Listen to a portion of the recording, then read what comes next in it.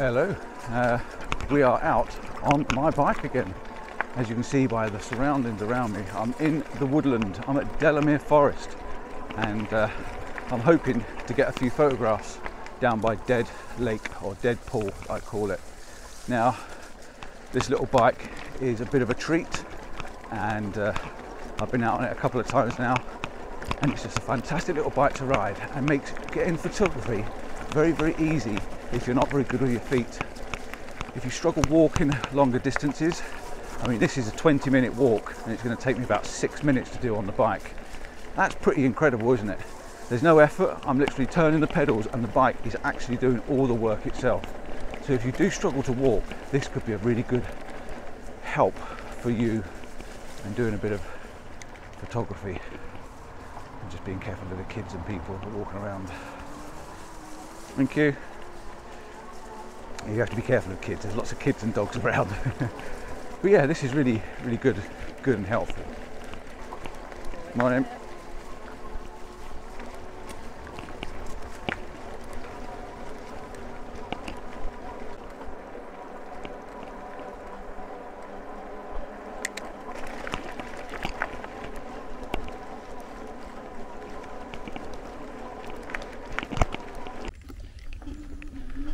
It's never my intention to try and sell you these products that I actually do use on my video but the Eskute bike I do show on my main channel as you're seeing it now because I really do think something like this can actually help your photography. Uh, we spend a lot of money on cameras and equipment and sometimes I know that I've got an older following and I know that some of you struggle to do the mileage and the distance and the walking. And I do really think something like this little bike could really help benefit you getting along the beaches, along the trails, through the woodland and stuff like that. And I'm looking for my path. My path's on the left somewhere. I can't find it. But yeah, I really do think this could this could help you. Um, if I can find my way through this bracken. Wow, summertime. The bracken's really big. So yeah, let me let me find the path. Let's get down to Deadpool and uh, see if we can get any shots. There's got to be something down here.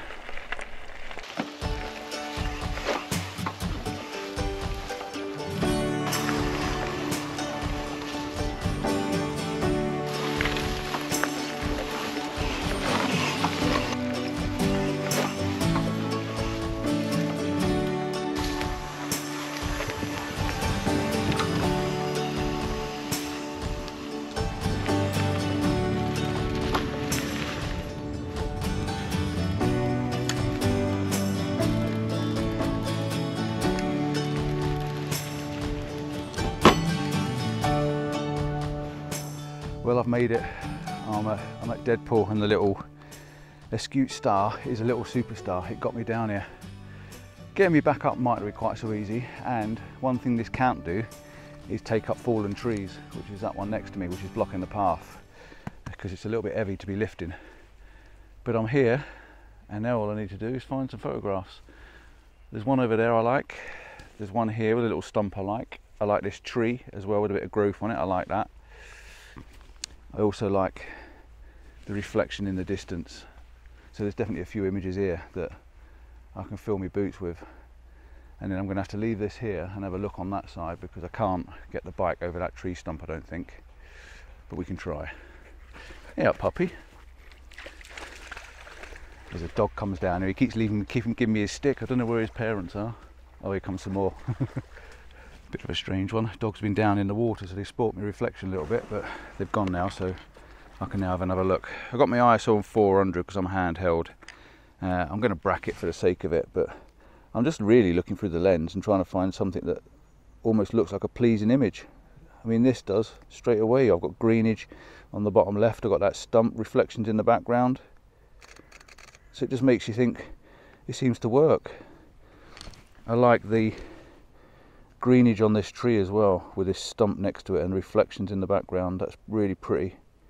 Um, I might have to just lift the camera up a little bit higher though because I've got a small leaf creeping in on the bottom corner which I don't like.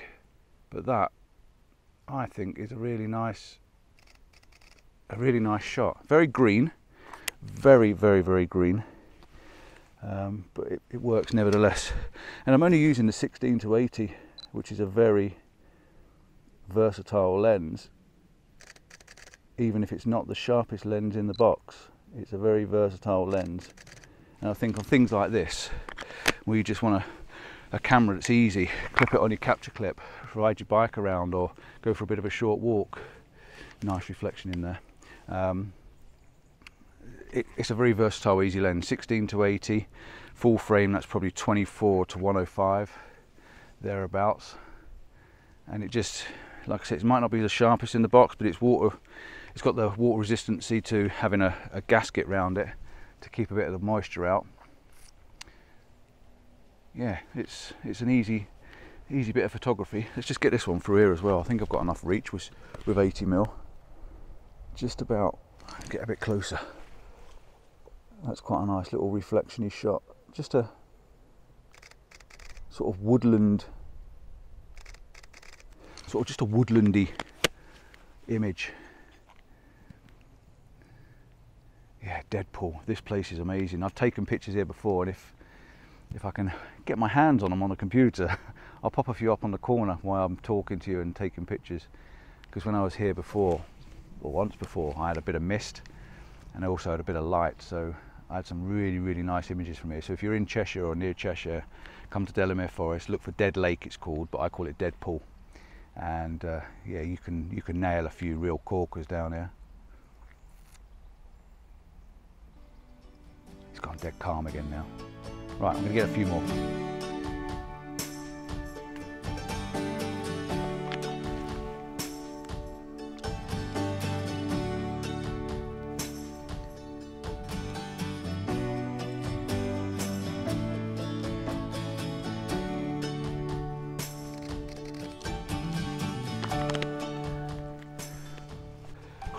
I've just met a very kind gentleman that's just helped me get the bike over the tree. I've just ripped the seat on this brand new bike trying to get it over a tree and I've hurt my fingers as well, which is never good. I've actually hurt my finger at work the other week and it's not playing very well.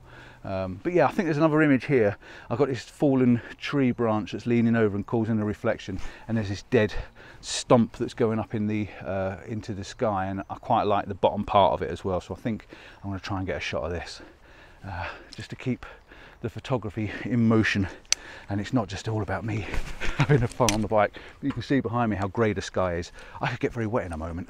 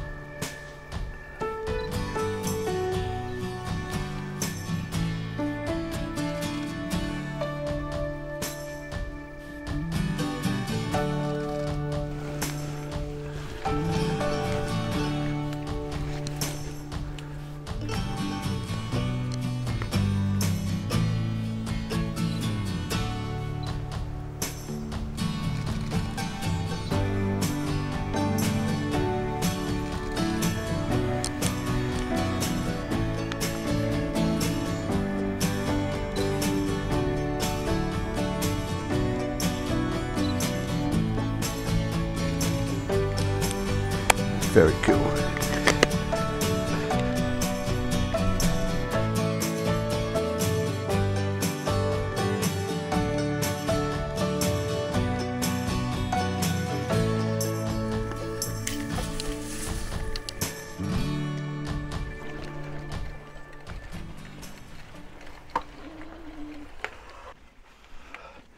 Well, it looks like I've just found another image so I'm going to park this little thing up and uh, see what we can do with it in all fairness. Uh, I quite like that. It's got a tree leaning down and leaning over. Well, the reflection's leaning down, but I quite like it. Possibly a square crop. The greens are just green. So nice. And I have actually got a polarizer on the front of this. I didn't realise I had the polarizer on the front, but I've been shooting with the polarizer on now. I don't particularly like the light reflections that I'm getting. Can't get any lower, but I do like that little angle of the tree. It might end up of a square, it might end up of a, I don't know, it might end up, it might even end up a vertical shot. That's quite nice. But the greens are so punchy. Let's spin that polarizer around as well. Yeah, that's cool dead lake. And that's what it's like. It's just dead still. Dead dead still. But yeah quite nice. What about that brackeny dead stuff? It's all about them reflections and woodland reflections and I think they're brilliant. That's a good image. I like that. Pure reflection. Dead stump brackeny stuff greenage. Lots of reflected water half and half 50-50 image. Reflections. Yeah quite like that.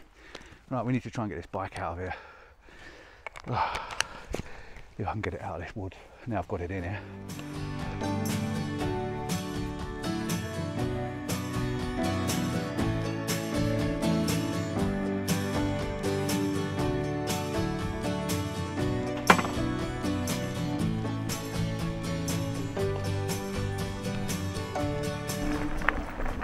managed to get out.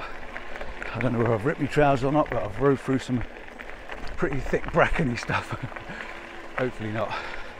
But this little bike, apart from lifting it over a tree, this is brilliant. right, we're back on the easy trail now. Let's go and have a ride around Delamere Forest, around the big lake, see if we can find any more pictures, and then we'll, uh, we'll be done for that.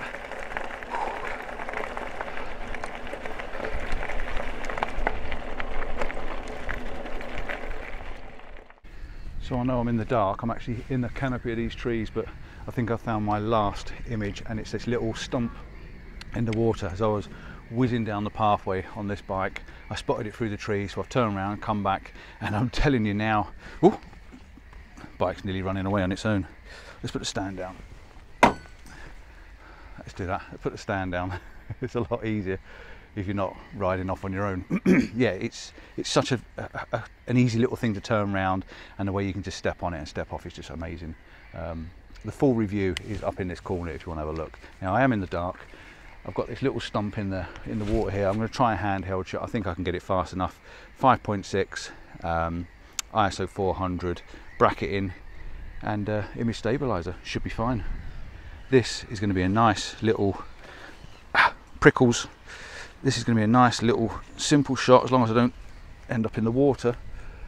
It's going to be a very minimal looking image, very minimalistic of a tree stump and the little growth coming out the top.